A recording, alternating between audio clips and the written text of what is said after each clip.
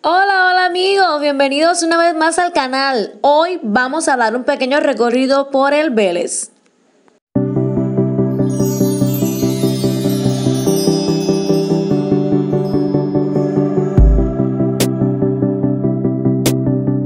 La historia de este lugar tuvo inicios mucho antes del año 1959.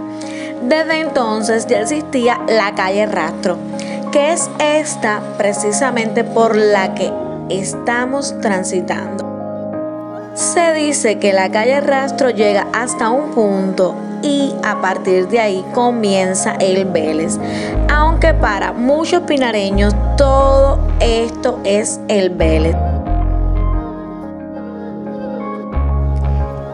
Esta es la secundaria básica José Martí, en la que han estudiado muchísimos pinareños, no solo del reparto Vélez, sino también de muchos otros repartos cercanos a la escuela.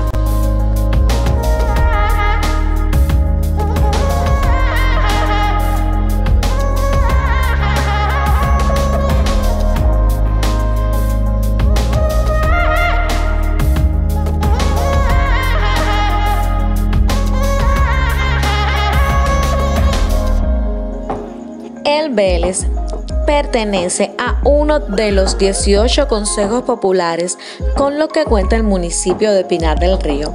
En este caso se trata del Consejo Popular Celso Maragoto. Este tiene una población estimada en más de 22.349 habitantes y un área geográfica de 14.50 kilómetros cuadrados así que sería muy difícil dejar plasmado todo el reparto en un solo video.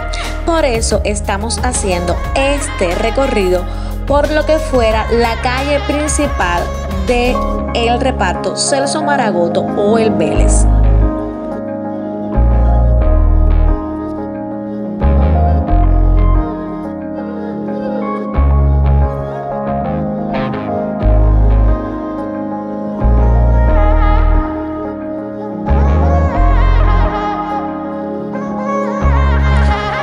No se puede hablar del Vélez sin mencionar la planta de hielo. Es así como la conocemos los pinareños, aunque es la fábrica de hielo del municipio de Pinar del Río. Aunque la fábrica sigue trabajando, hay lugares en la misma que ya no funcionan. Además de la fábrica de hielo, el Vélez tiene también dos escuelas primarias, una secundaria básica, un taller de transformadores eléctricos, la fábrica de embutidos Venegas y así muchos otros lugares de interés para los pinareños. Así que ya sabes, si quieres seguir conociendo otros lugares en Pinar del Río, no dejes de suscribirte al canal. Nos vemos en un próximo programa. Chao.